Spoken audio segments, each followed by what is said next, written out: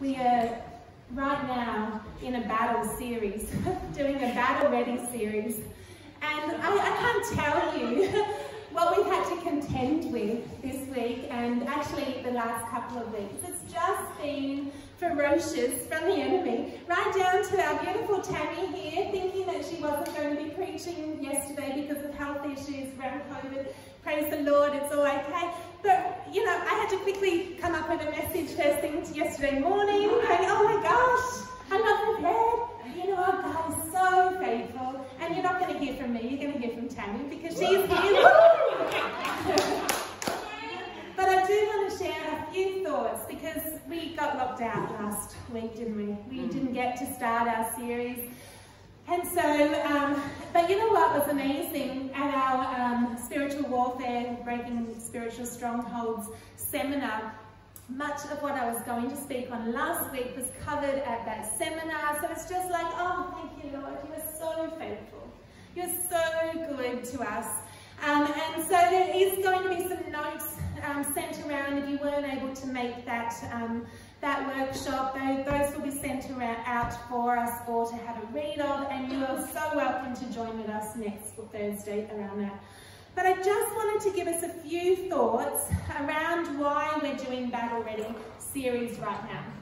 And so the Lord spoke to me in December um, about some about some battle ready, uh, you know, plans that we need to start to, to get our head around. And that's partly because in 2020, um, the church was kind of caught napping, weren't we? As a global church, not this church necessarily, maybe we were, maybe we weren't, but the global church was caught napping and the enemy just came in at our vulnerable place. And this is what the enemy will do. In fact, we'll, we'll, look at this next week, but Jesus was in a vulnerable state at that 40 days, 40 nights of prayer and fasting, and that is when the enemy tried to tempt him three times. So it's very, very biblical that the enemy will come in in our weak spots, in those areas. And so the church, we were caught napping um, last year, and the enemy has come in. And so the Lord has said to me, we need to be battle ready for 2021. And here is some, some battle ready blueprints, if you like. Who knows that our blueprints are already written? We just need to go seeking them. They're already in the Word of God. So we don't have to invent these. These are already there. And so some of the things, obvious, most obvious that we're going to look at next week, and uh, all of these um, we'll look at next week, apart from a couple today, is the five, uh, the Ephesians 6 armor of God. Because the Lord said to me, remember that our struggle is not against flesh and blood, but against the rulers, against the authorities, against the powers of this dark world, and against the spiritual forces of evil in the heavenly realms. Therefore, put on your full armor of God, so that when, when, not if, when the day of evil comes, you may be able to stand your ground, and after you have done everything, to stand. And so if, not if, actually when evil comes our way, we need to be battle ready yes. with our full armour. And so we're going to look at that next week. There's actually five pieces of the armour, but there's one piece, that a sixth piece, which is a weapon. And the weapon is the sword of the Spirit, mm. which is the word of God. And so this sword of the Spirit is where we get our blueprints from, and it's where we, um, you know, we can learn everything that God has got for us moving forward. And so um, there is a seventh piece of the armour that we're going to look at today as well. I actually see this as the lifeblood of a Christian soldier the lifeblood of a Christian soldier. It threads, if you like, the full armour together and it's called prayer. Mm. And actually in Ephesians 6, it says pray in the Spirit on all occasions. And so for those of you who don't know what that looks like, we have heavenly languages that is one of the gifts that God has given his church that actually um, I, I, received this word back in December, that it's the Morse code. I, I heard you um, say it as well, Roger, the other day, and it was confirmation. Um, it's the Morse code, if you like, of the battle plan that God has given us. And that's because the enemy can't understand our heavenly languages. These are these are spiritual words that we utter and the Holy Spirit um, you know, intercedes on our behalf and it's between us and God. And so prayer is the lifeblood of a Christian um, soldier and it's essential, especially the speaking in tongues, our heavenly languages. And we want to invite people up this morning, if you haven't received that gift, our prayer team wants to get behind you and pray for the, the gift, of gift of tongues this morning. Another part of the the armor, if you like, it's not in Ephesians 6, but some of the things that God is wanting us to look at in terms of um, in terms of being battle ready. They, they things like being led by Jesus. We've certainly looked at this. There is a dance that we're invited into, and God is calling us to be led by Jesus. Like we've been saying many times, the glory cloud. We follow the glory cloud. We don't go separate to God's plan. And as we saw this morning, sometimes that's going to look totally different. You know, what would happen if there's no preacher? What would happen if there's no worship leader? We have to get creative in this era. Hebrews uh, 10 says, Hebrews 10, 25, I think it is. And so we're going to get creative um, as part of a battle plan. Our identity. We've looked at our identity. We are a child of God's. This is so important for us to take hold of as a battle-ready plan. We are worshippers who worship in spirit and truth. We looked at that as well. Worship brings down strongholds. Worship cuts through the enemy. Declaring the name of Jesus is so vital in this era, in this in this time of getting battle ready. Um, other things that we're going to look at is unity in, in the bride of Christ. It's so integral that we rise up as one army. You don't, an army is very much um, in, in alignment with one another. They, they're in a march, they march on time with the beat, but we march to the beat of Jesus. Yes, right. And so therefore we need to arise as one body of Christ. He is the head. We are the body, but we are one in Christ Jesus. And therefore, that is part of our uh, of how we get battle ready is being un unified together. There is strength in numbers. What else are we going to look at? We are going to look today at, at the authority and the power that comes through knowing who Jesus is. The power that comes through Jesus is the authority that we actually can stand on. So there are a number of things. The other, the other battle-ready plan with God is uh, to rest. You know, Hebrews 4 says we must rest. God himself rested on the seventh day. He is calling us into rest because it's when we are restful, when we are Marys rather than Marthas, that we will hear the voice of God. We will be able to read it from his word. We will be able to know the next step of the dance. Good. It's really important for us to understand what we're doing in terms of the battle ready. In, in Matthew 24 says that the world will get darker in the last days. That is, and it also says that there will be counterfeit spirits in the last days. We need to be ready with our full armor intact in order for us to, to know our authority, to claim our authority, and to stand. And when all is said and done, Ephesians 6 says, stand. And so that is what we're all about at the moment around this Battle Ready series. So this morning we're doing things um, a little bit differently. I'm inviting Carol up first. She's going to share on prayer.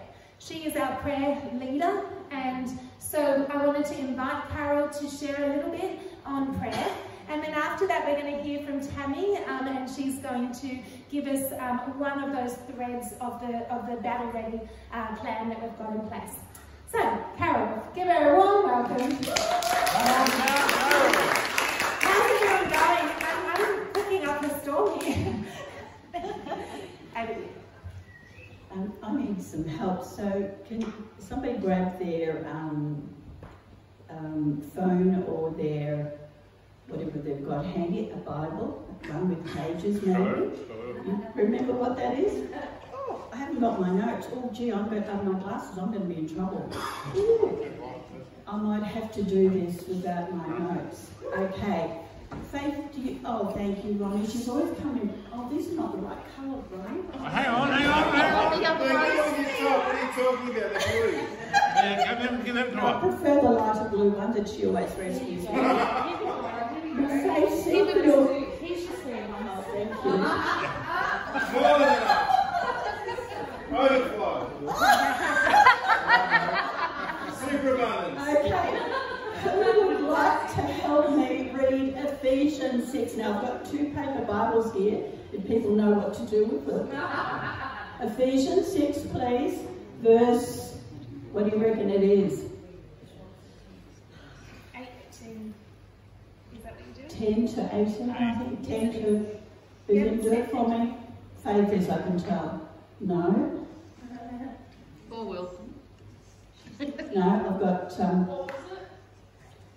it- okay, Faith, you go for it, sweetie. 10 to 18. Ephesians 6, verse 10, I think it is.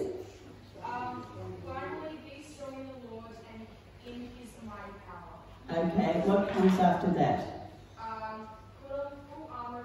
Okay, come up here, Faith. God. Not the armor. Here it comes. Thank you. And you can do this very slowly because I'm, you know, just, just do it slowly a little bit. So what came after that? Put on now. Uh, put on the full armor of God so that you can take your stand against the devil's schemes. For our struggle, our struggle is not against flesh and blood, but against the rule, rulers, against the authorities, against the powers of the dark world, and against the spiritual forces of evil in heavenly realms. Okay, what comes next? Um, therefore, put on the full armor of God, so that when the day of evil comes, you may be able to stand on your guard, and after you have done everything, to stand. Right. Stand firm then, with the belt of truth buckled around your waist. Okay, this is the slow part. The buckle of truth, is it? Yep, the buckle of truth around your waist. Okay, and you've got a thin waist now. If um, if I didn't put that up tight, what would happen? The buckle. If you didn't have that up nice and tight, what would happen? It would fall. That's right. What's next? Um, with the breastplate of righteousness in place. Okay. So if I just pinned the breastplate on faith, just very hurriedly, like sometimes we do when we, you know, get ready to talk to the Lord, we just do all this in a hurry. And I put that on. What would happen if I only pinned it to one side or strapped it to one side? One side. And what would be exposed? Um, chest. Yeah. Okay. Keep going. Um, and with your feet fitted with the readiness that comes from the gospel of peace. Okay. Oh, you've got a pretty good pair of sandals on today. but what ha- what would happen if you if you didn't do the um didn't do your straps up? Uh, your shoes would fall and Okay. get cut on rocks and stuff. You wouldn't be able to go very far, probably. Okay. Next. In addition to all this, take up the shield of faith, Okay. which which with you can extinguish all the flaming arrows of the evil one. So if you just had your shield somewhere down there, Get shot. that, do we? Keep going. Take the helmet of salvation. Okay. Well, if you didn't have your helmet on, what would happen? I'd get shot probably again. Okay. Um, Bear with us, everyone. uh, and the sword of the Spirit, which is the word of God. Yeah without my sword. You wouldn't be. No. Okay. Um, and then this is the last bit, uh, up to chapter 18, um, verse 18. And pray in the Spirit on all occasions with all kinds of prayers and requests. And with this in mind, be alert and always keep on praying for all the Lord's people. If um, Faith. Uh, Thank you. We didn't know about that, did we, Faith? We didn't. We really didn't. I'm not pulling your hair. Um, now, the part that I want to pull out of that, so we, we all know about the, the, the, the armour, don't we? And it's just an example um, of being in an army and being what prepared, I suppose, and well equipped. But I want to draw out something else out of that, and it was the praying always. It's good. Yeah, the praying always. That also is a weapon. It's a mighty weapon to bring down strongholds. And part of the praying, there's, there's lots of things in the praying. And I just want to draw out some of these things. And one of them is being watchful. That's good. If you have an army, you have you have spies and recruits that are going around, they're watching their scouts, aren't they? Yeah. There might be other words for them. But they're scouts and they're watching and they're coming back reporting. They're being watchful. Yeah. How would we know what to pray if we weren't watchful and we weren't aware of what is going on? So, watchful and awareness um, really, in a sense, inform our prayerfulness. Are you with me? Yeah. Do you agree? We agree. Perseverance, supplication, and boldness are other aspects. So we can persevere in prayer. Let's persevere. We probably do, but we need to all the more in these times. And boldness. Let's come boldly, not to be timid in our prayer. We have everything available to us. We can come boldly. That doesn't mean that that we act in a, uh, you know, the word boldness kind of has a little bit, for me, a little bit of an implication because I'm a bit of a kind of a softie. But the boldness is, it doesn't need to be soft. Boldness is probably a little bit more about having the authority. Mm, that's good. So you can come, and I do, and I'm, I'm a, as I said, I'm a bit of a softie, but I know um, what I know because, you know, I have that authority I can stand in that. Yeah. So nothing at all about, you know, I'm not strong enough or I'm, no, if we're not strong in ourselves, we're strong in the Lord. That's good. So, um,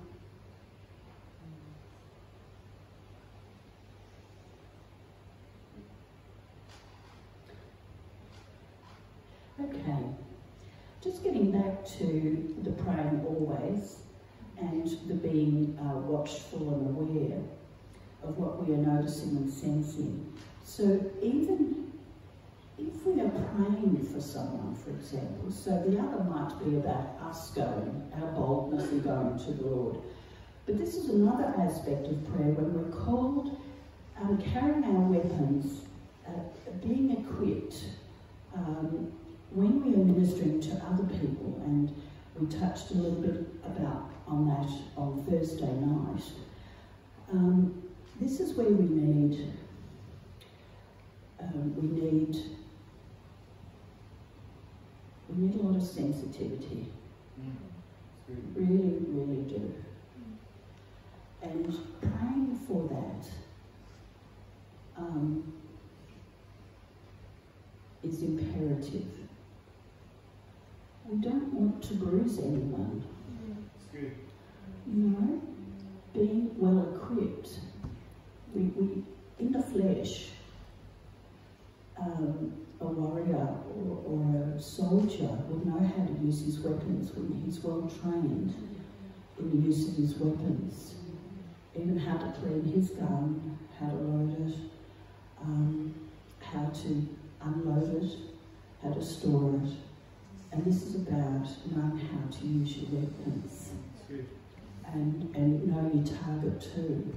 So it's the same in the prayer realm um, when we're sharing with one another. We have we carry an authority with us, and we carry we can carry boldness, and at times we need to remembering that it's not about power, it's about authority.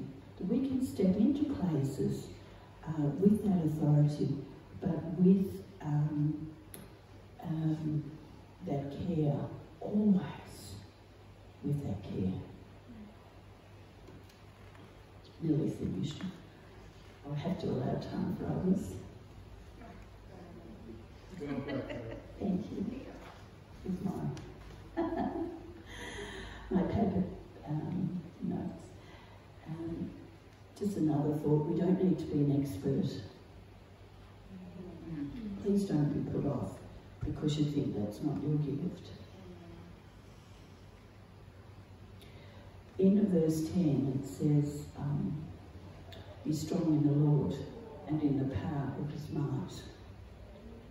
So sometimes that, that boldness will take us into places where we might feel like we're a little bit out of our depth. But if we carry that sensitivity and that wisdom uh, and the authority that we have, it will be okay, provided we have that atmosphere about us. Um, I want what he has and what he wants to impart. I guess we all do too. I desire, uh, using all these words, I'm a bit embarrassed about it, but um, I desire his strength, his sensitivity, his timing. At all times, but particularly when praying for others, either at the altar, and we have a, a team here prays, um, in our casual circumstances, um, praying for uh, others here at church, further out afield, or our family, or whoever, um, or any aspect of our work. There's a few things that I want to emphasise in closing. And particularly if we feel we've got a prophetic word. Not only that, but just particularly. These are things to keep in mind. And if we keep them in mind, we will be battle ready and we'll be like, we'll be, um, we'll be in good condition. And those that we minister to will be better off for our meeting. So these are those thoughts. Is the time right for me to share? Is my approach right? Am I doing it for my sake?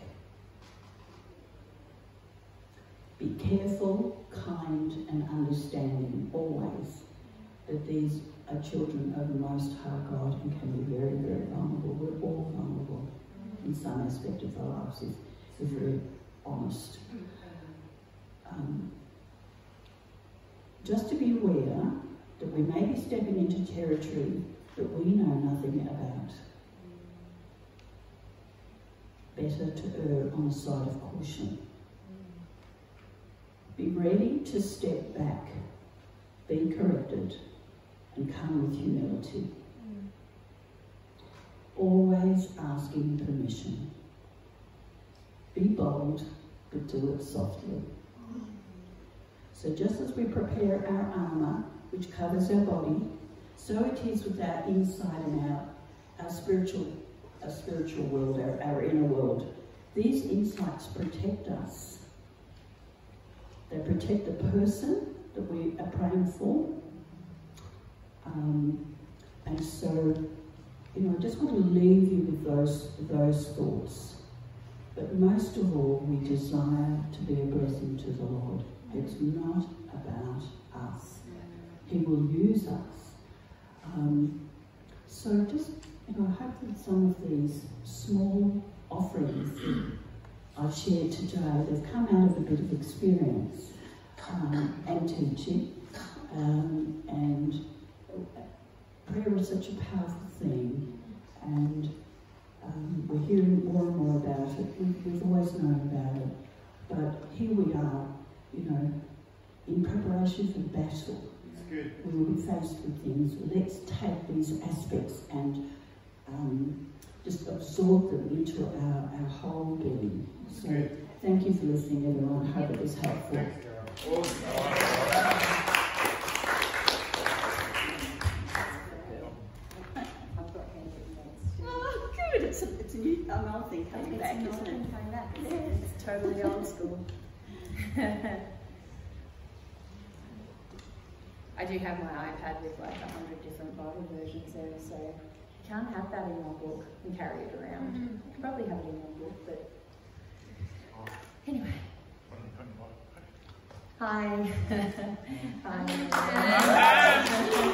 Thanks.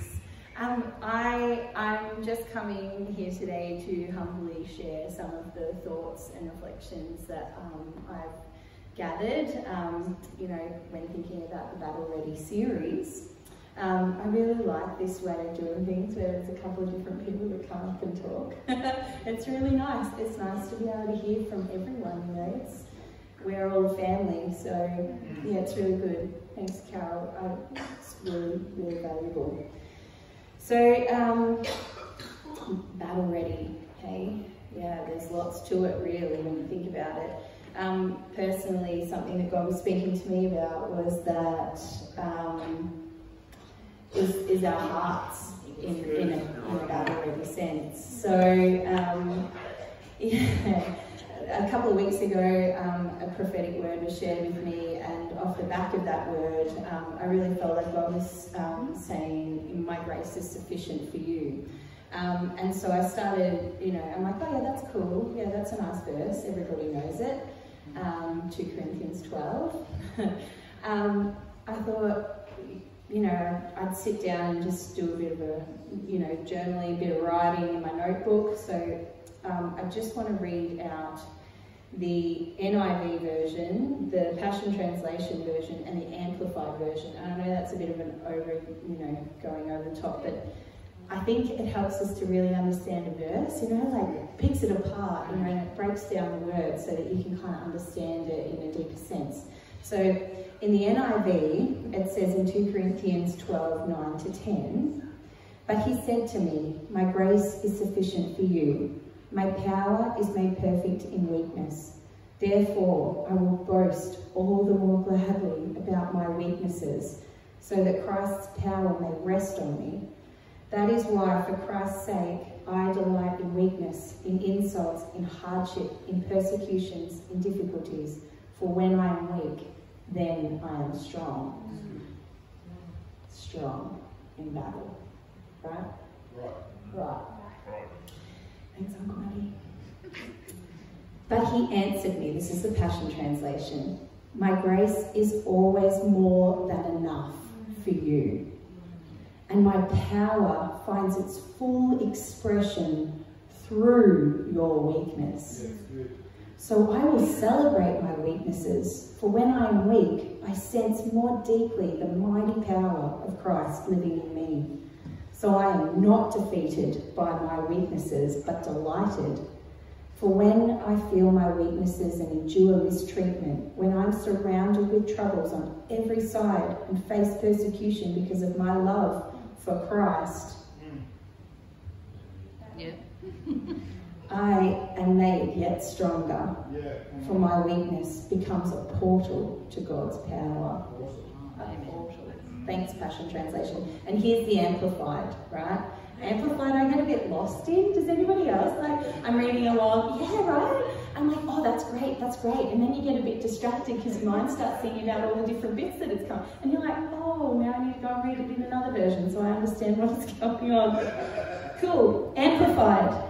But he said to me, My grace is sufficient for you. My loving kindness and my mercy are more than enough. So there's a theme more than enough. Yeah. Always available. It's always available. Grace is always available to us, regardless of the situation.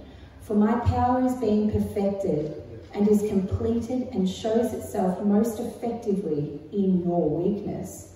Therefore, I will all the more gladly boast in my weaknesses, so that the power of Christ may completely enfold me and may dwell in me. So I am well pleased with weakness and insults, with distresses, with persecutions, and with difficulties, for the sake of Christ. For when I am weak in human strength, then I am strong, and in brackets, truly able, truly powerful, truly drawing from God's strength. Yeah. Amen. It's a good verse, you know. like, and and I, I'd like to just, so I was, you know, reflecting on this, and I'm like, whoa, that's powerful. And I really sense God saying, what weaknesses are you trying to hide that if you brought it to your loving Father in heaven would be part of his power being made perfect in you, mm. therefore making you battle ready? Yeah. Yeah. The society that we live in doesn't exactly celebrate weaknesses, you know. The society that we live in actually says you need to hide that. You know, we don't want to know about your weaknesses. We only want to see strength, you know. And so we go through life kind of hiding everything, you know, in us that's negative, that's a weakness.